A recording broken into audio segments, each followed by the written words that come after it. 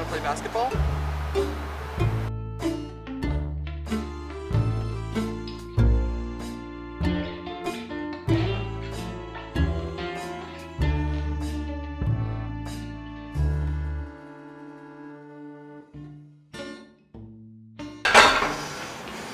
Hey, do you want me to teach you tennis instead?